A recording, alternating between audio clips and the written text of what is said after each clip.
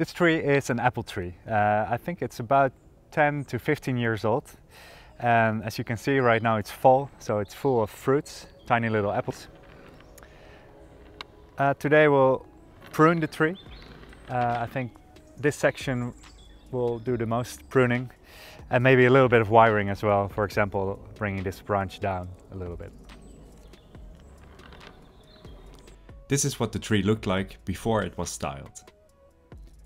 After pruning and wiring, this was the result.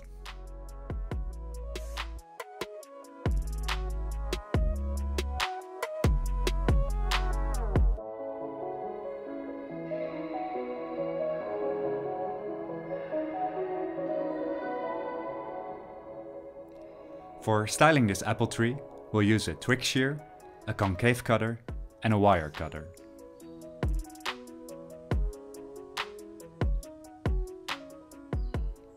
The first branch that will be pruned is here at the apex. Right now there are two thick branches, so we will prune the one on the left.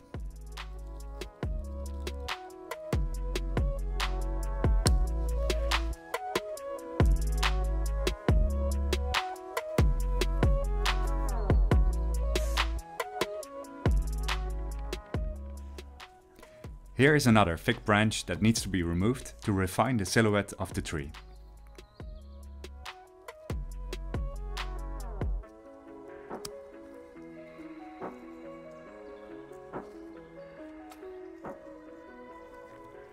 Make sure to keep rotating the tree when pruning, so you have a good 360 degree image of the tree.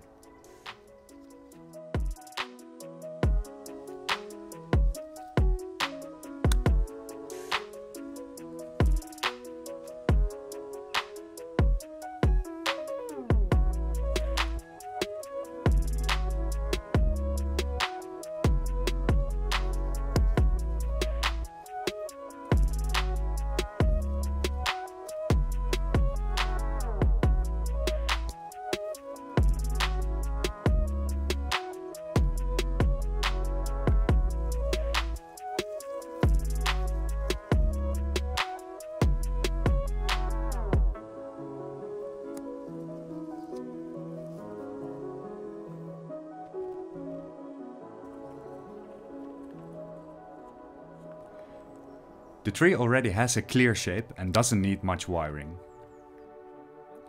This branch, however, will be wired, to be able to bend it downwards a bit.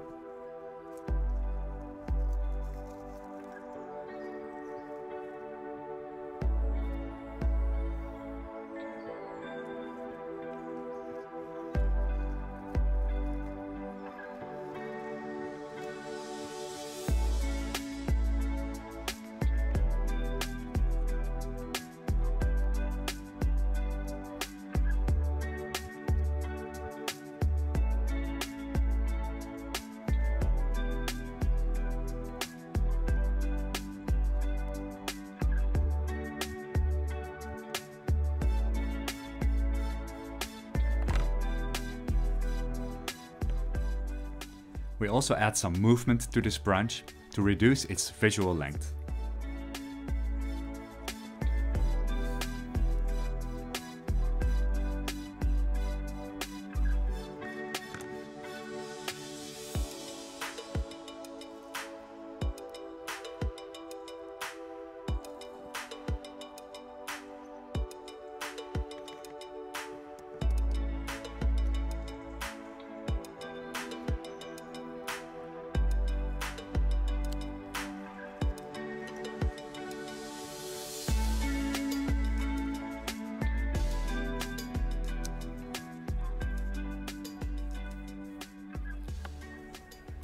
Alright, we have pruned and wired the tree.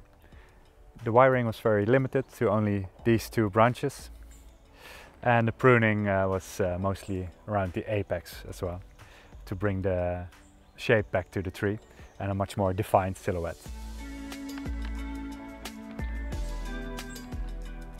After this fall pruning, the tree will react by growing a lot of new shoots in the next spring. By continuing to prune twice or maybe three times a year, the ramification of the tree will get better and better over time.